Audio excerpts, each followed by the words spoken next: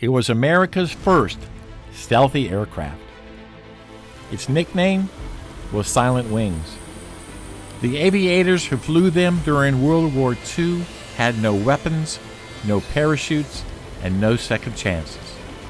They were called the flying coffins of World War II. Next on Marking History.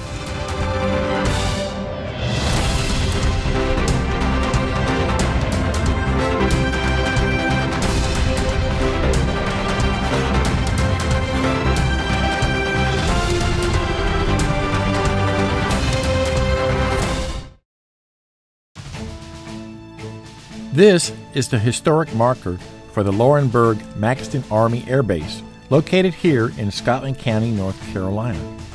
During World War II, this air base was the largest glider base in the world.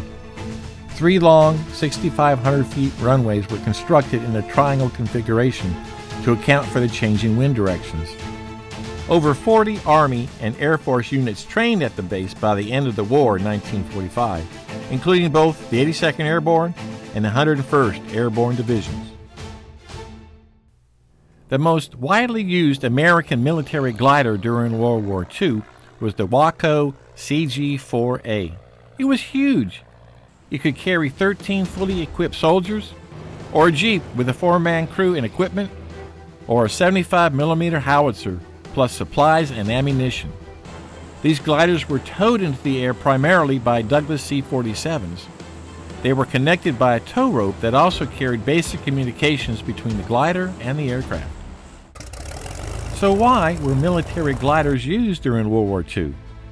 Well, landing by parachute caused the troops to be spread out over a large drop zone and separated from other airdropped equipment, such as vehicles and anti tank guns.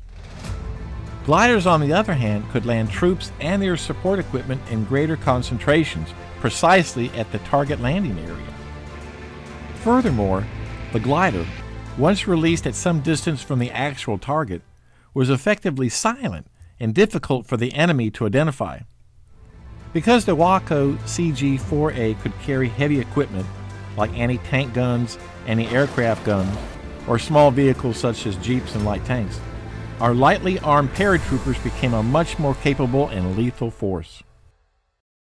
By the way, these gliders did not soar. Think of the glider like a brick with wings. If things were working well, the gliders would cut loose from their tow planes at about 500 feet over their landing area. After the tow line was disconnected, the pilots had about 20 seconds to decide where to land. It was basically a planned accident. Guess that's why these gliders acquired the nickname the Flying Coffins. In addition to crash landings, many glider casualties occurred from enemy anti aircraft and machine gun fire. During the war, 6,000 men volunteered and trained as glider pilots. The possibility of officers' pay and the chance to fly attracted a particular breed of risk tolerant trainees and the glider pilot's maverick reputation quickly spread. Every landing was a genuine do or die situation for the glider pilots.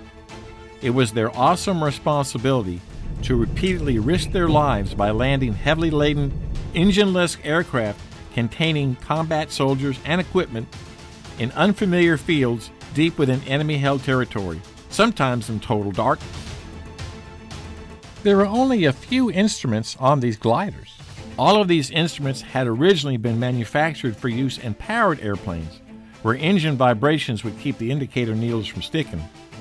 The glider pilots flying their vibrationless aircraft frequently tapped all the indicators to be sure they were giving correct readings. No wonder they didn't trust their instruments.